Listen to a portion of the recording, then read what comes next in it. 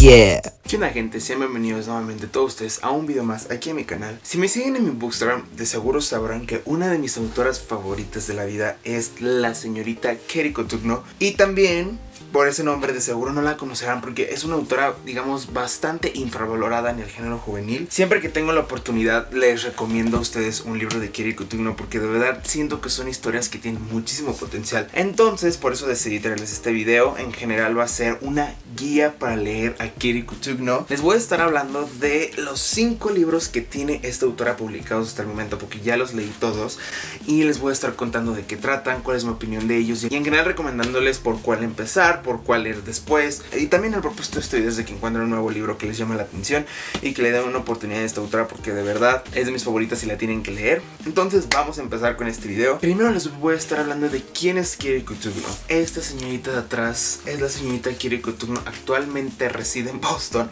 y es una autora de contemporáneo juvenil y usando sus propias palabras ella escribe historias de romance feministas y complicadas. Si buscan sus libros en Goodreads se darán cuenta de que muchos de ellos, por no decir la gran mayoría, tienen calificaciones extremadamente bajas y eso se debe a que sus libros son bastante inconvencionales. Sus libros tienen temas extremadamente realistas, cosas que suceden en la sociedad joven hoy en día. Muchas de las veces los libros o algunos aspectos que tienen las historias son extremadamente, digamos, no ideales. He escuchado muchísimas reseñas, he escuchado como bastantes críticas por varias personas que han leído sus libros que mencionan que no les gusta la manera en la que Kiriko Tugno termina sus libros, no les gusta la manera en la que Kiriko Tugno desarrolla las historias, que porque mete esto, que porque agrega aquello, que en general no hay como un nivel ideal de lo que está sucediendo en sus novelas, pero a mí en lo personal eso me encanta. Yo siempre he dicho que yo prefiero mil veces es lo realista a lo convencional. Claro, me encantan las historias extremadamente románticas, perfectas, bonitas, goals incluso si les quieren llamar así. Pero cuando empecé a leer esta autora y vi la manera tan sutil, pero tan como a veces cruda en la que muestra estas historias, me enamoré por completo. Siento que tienen un impacto más grande, la verdad, o sea, de... No sé, o sea, cada uno de estos libros es bastante diferente entre sí. Cuando yo les empiezo a hablar de ellos les voy a estar explicando por qué. Pero cada uno tiene sus altos y sus bajos, pero cada uno de ellos es como una imagen, una representación bastante realista de situaciones que viven los adolescentes hoy en día. Y a veces esas situaciones no son las mejores, no son las más, digamos, moralmente correctas, pero son cosas que viven, son cosas de la vida. Y me encanta que Kiri no se atreva a representarlo como son. Yo de verdad estoy enamorado de sus estilo de escritura. Muchas veces cuando estoy leyendo sus libros siento que el libro fue escrito para mí y para Fernando. Este autor de verdad se ganó mi corazón con estos cinco libros y no puedo esperar para leer todos los que se vienen. El próximo año en 2020 va a publicar dos libros. Gracias a Dios, porque en 2019 no publicó nada. Entonces vamos a tener Kiriko Tugno para largo. Pero por el momento les voy a estar hablando de estas cinco novelas que tienen que leer. Y, híjole, vamos a empezar ya. Bien, bien, bien, bien. El primer libro del cual les voy a hablar fue su libro debut. Y irónicamente fue el último libro que leí de ella. Y ese es How to Love. Este libro nos cuenta la historia de Rina y de Sawyer contada en dos líneas de tiempo diferentes. En el antes y el después. En el antes tenemos una Rina de 15 años bastante tímida, bastante cohibida en sí misma. Pero siempre ha tenido como un crush en este chico llamado Sawyer que ha sido el popular, el chico que todos quieren, etc. Y pues Rina siempre ha sentido que Sawyer ni siquiera sabe su existencia hasta que un día como que empieza a haber algo entre ellos y comienzan a tener una relación. Es como un romance digamos complicado porque es el primer amor, es el romance inocente, las hormonas, la experiencia de estar viviendo esto por primera vez. Entonces pues Rina para empezar está viviendo su mejor vida hasta que un día Sawyer desaparece, literalmente nadie sabe a dónde se fue, ni con quién se fue, ni por qué se fue. Y pues Rina queda devastada, enojada y embarazada. Eso no es un spoiler, eso está atrás en la sinopsis. Y luego tenemos el después donde ya está una Rina más madura, una de 18 años, con su hija Hannah. Pues ha logrado sobrellevar su situación bastante bien, ya ha logrado como calmarse y en seguir adelante después de todo lo que sucedió. Obviamente su vida tuvo bastantes altos y bajos, tuvo que sacrificar varias cosas que tenía planeada para ella por el hecho de que tuvo a Hannah. Pero digamos que actualmente se encuentra en una situación estable hasta que un día, caminando por su pequeña ciudad, vuelve a ver a Sawyer y dice, a ver, cabrón, ¿qué estás haciendo aquí otra vez? No puedes venir aquí después de que te largaste y me dejaste tres años panzona y ahora aquí está tu hija, ¿no? Esa es como la trama en general del libro. El libro está como con capítulos alternando entre antes y después, antes y después. Entonces ves el desarrollo de ambas reinas al mismo tiempo. Uno bastante increíble, por cierto. En general este es un libro de segundas oportunidades, de reconectarte con alguien de tu pasado, de sentir una traición así de fea por alguien en quien tú confiabas, en aprender a querer todos tus errores, en crecer de ellos y el nunca arrepentirte de lo que hiciste, en el madurar, en el crecer y en general en el no quedarte en el pasado sino seguir viendo el futuro. De verdad cuando terminé de leer este libro yo me quedé con una sonrisa en la cara porque durante estas páginas puedes sentir el amor, el odio, el enojo, la tristeza que sufre Rina, o sea, los sentimientos que tiene este libro son bastante, se sienten muy reales más bien. Leer su historia es a veces un poco triste por el hecho de que pues sí la ha tenido bastante difícil esta chica, pero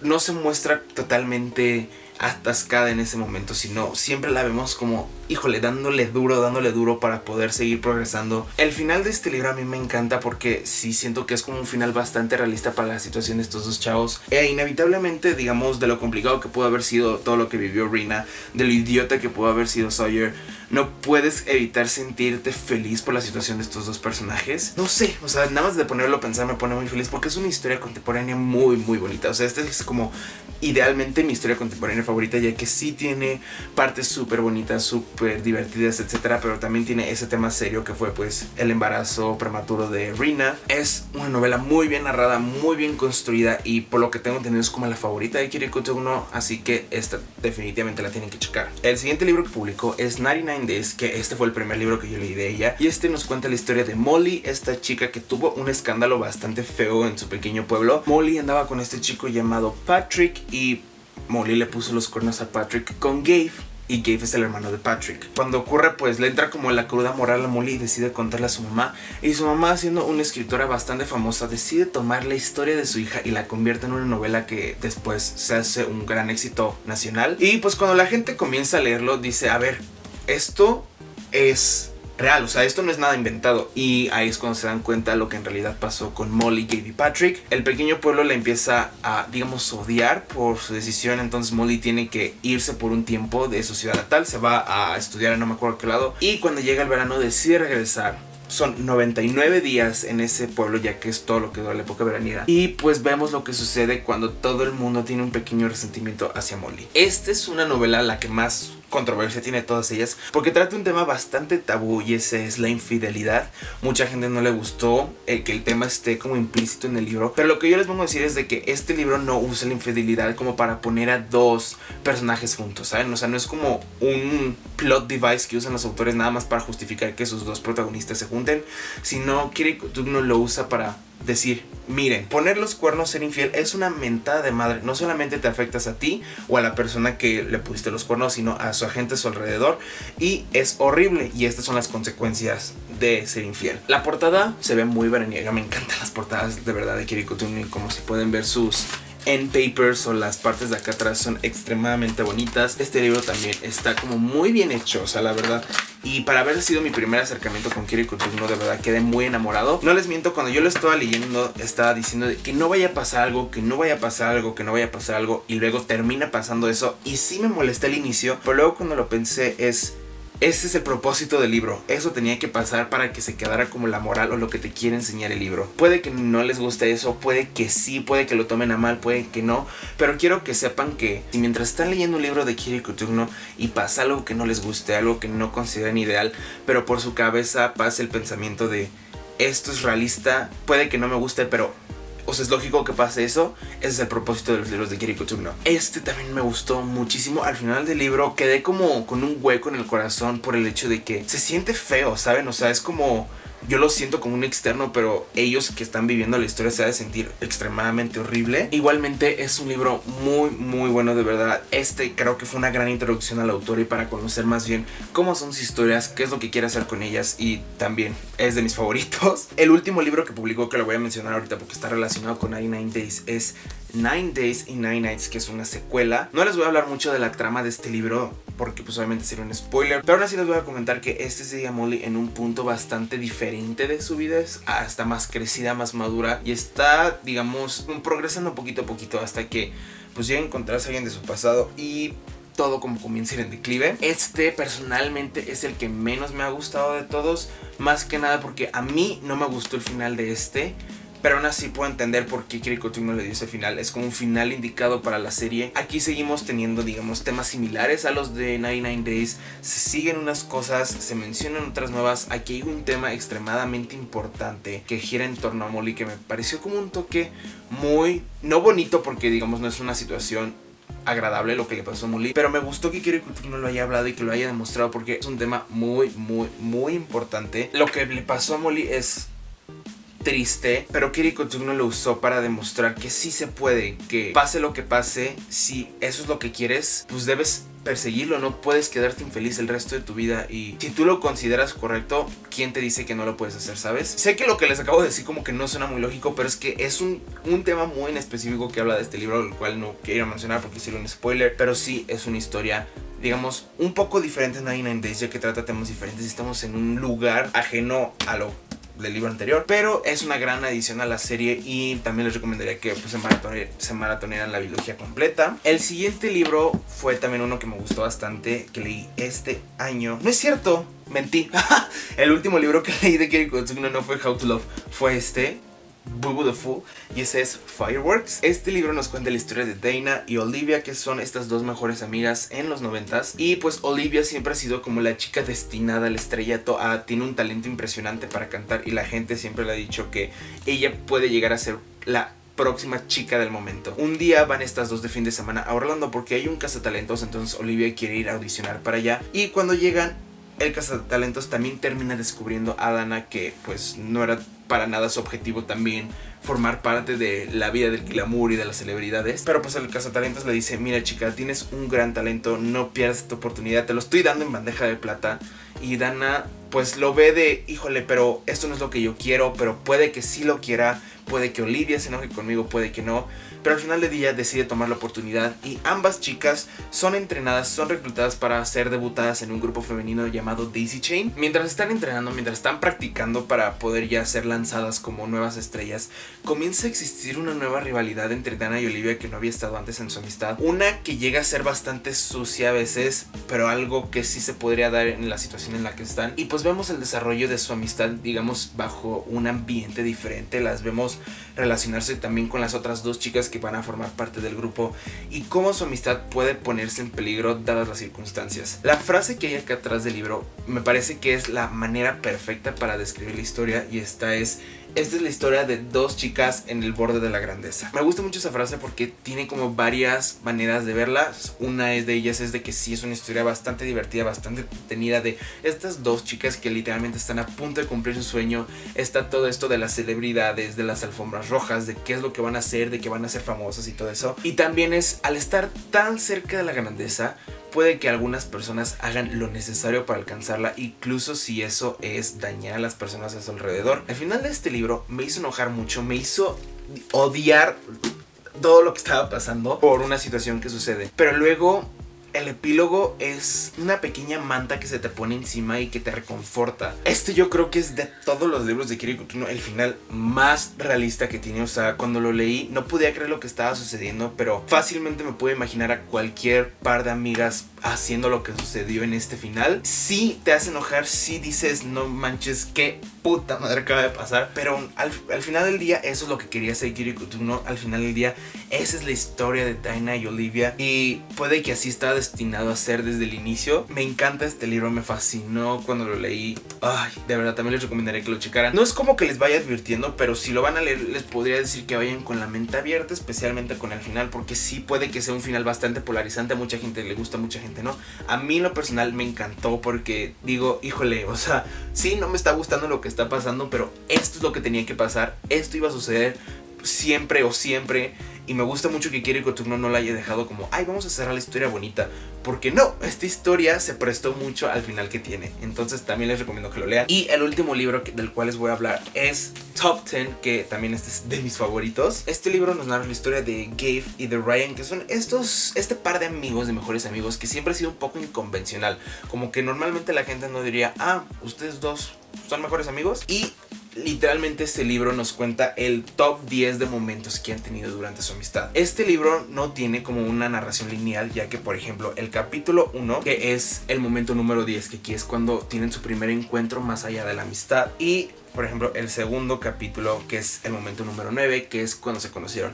Entonces lo que hace este libro es saltarse entre todos los años que estos dos protagonistas han sido amigos y eso nos permite ver varios como partes de su amistad. Vemos la emoción cuando comenzaron a ser amigos, vemos el momento cuando ambos comenzaron a tener como sentimientos encontrados hacia el otro, vemos cuando comenzaron a dudar si podía haber algo más que amistad entre ellos, vemos momentos cuando están peleados el uno con el otro, cuando no se toleran y se nos permite ver varias capas de la amistad tan compleja que llegan a tener estos dos chavos. Igualmente este libro también trata temas bastante importantes, uno de ellos es de que Ryan juega hockey y ha tenido varios accidentes en el deporte. Se nos muestra en página varios momentos donde ha recibido golpes un tanto fuertes que le han provocado concusiones y está esta plática de si te gusta el deporte, pero crees que es algo indicado como arriesgar tu vida para seguir jugando esto y pues obviamente Ryan está en negación, Ryan es lo que quiere hacer y el hecho de que mucha gente le esté diciendo no Ryan te tienes que cuidar, claro que causa un conflicto en él, entonces es bastante interesante ver eso. Gaby y Ryan sí tienen sus altos y sus bajos, pero como cualquier otra amistad y me gustó mucho que lo pudimos ver en diferentes partes de su vida en este libro. Es siempre lo he dicho, este libro es similar a Y si quedamos como amigos de Elizabeth Elberg, pero este es como la versión Mm, y esto no es shade porque y si quedamos como amigos es de mis libros favoritos, es como la versión un poquito más madura, ya que el otro es muy rosita, es muy bonito, todo siempre acaba bien, pero aquí es algo que fácilmente a cualquier pareja de mejores amigos les podría pasar. Hay varias situaciones donde me sentí identificado y hay varias situaciones donde las he vivido de primera mano.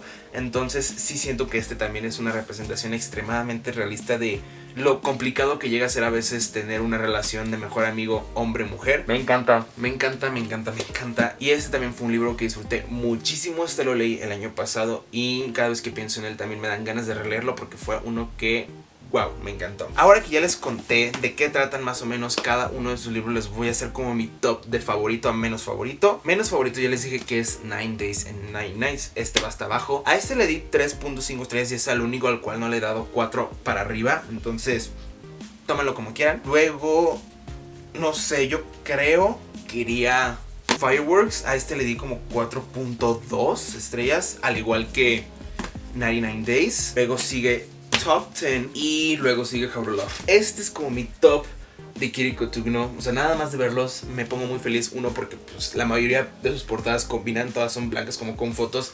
Menos este, la pastatura de este es con un color azul bien feo y no tiene absolutamente nada. Por eso me compré la tapa blanda. Y de hecho, esta es mi portada favorita de Kiriko Tugno. Este es mi orden de favoritos, pero yo les recomiendo que empezaran o con 99 Days o How to Love, ya que siento que este es como una gran introducción a Kiriko Tugno, pero aquí todavía no era el tipo de narradora que lo es en sus otros cuatro libros. Este es el que tiene como la historia más accesible, más como para atraer a las masas, entonces este sería un gran punto para empezar. Pero para ya poco a poco en lo que se fue convirtiendo Kiriko Tugno y el tipo de historias que cuentan, yo les recomendaría que empezara con 99 Days, ya que es una historia fácil de leer, ya que cada capítulo es un día, entonces pues hay 99 capítulos en este libro que no es tan largo la verdad y te lo lees en nada. Es una lectura así veraniega, tiene varios como aspectos bastante frescos y lindos, pero como les he mencionado también trata temas importantes y siento que este es una, un gran vistazo para el, cómo es Kiriko Tugno como autora. Ella tiene dos libros que salen el próximo año. El primero se llama Rules for Being a Girl, que este sale en